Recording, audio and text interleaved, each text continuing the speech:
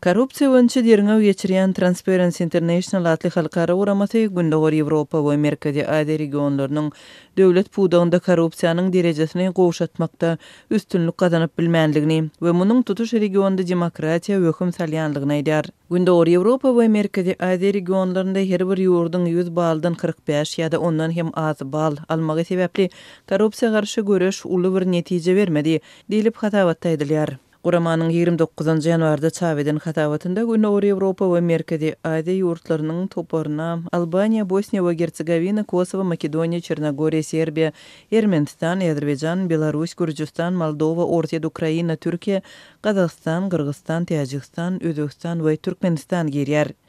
Bir ýüz segsen ýurdy öz içine alýan hasabatda Türkmenistan ýigrimi bal bilen bir ýüz altmyş birinji setirde ýerleşdirildi we Gündogar Ýewropa hem Merkezi Aziýa ýurtlarynyň arasynda korrupsiýa derejesi boýunça iň erbedi hasaplandy. Türkmenistandan soň ýigrimi üç bal alan we bir ýüz elli sekizinji setirde ýerleşdirilen Özbegistan barýar. Türkmenistan ýyllar boýy dünýäniň iň korrumpirlenen ýurtlarynyň hatarynda agzalýar.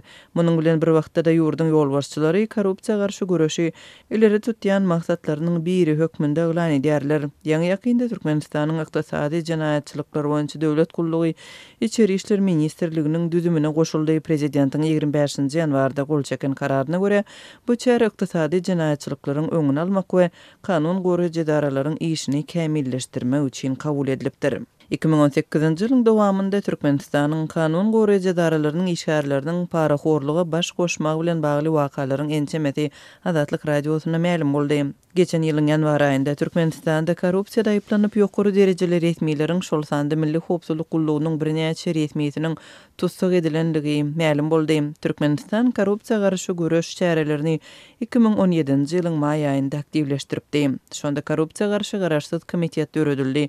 Baş prokuror, Baş suduň başlygy işden boşadyldy. Içeri işler we milli howpsuzlyk ministrleri berk käýinç aldy. Ýene onlarça resmi korrupsiýada aýyplanyp tussag edildi.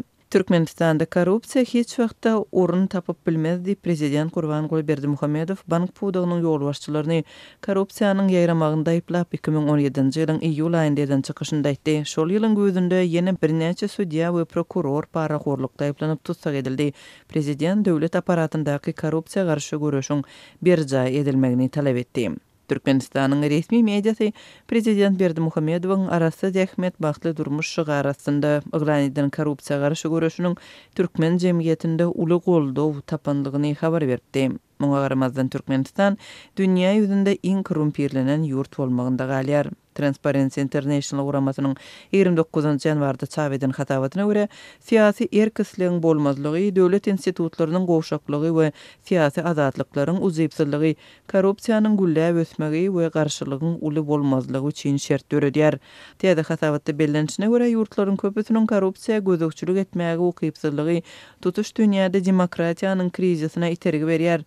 Korrupsiýa garşy göreşiň netijeliligi üçin sud reformasynyň we graždan jemgyýetiniň rolunyň ähmiýeti hem nygtalýar.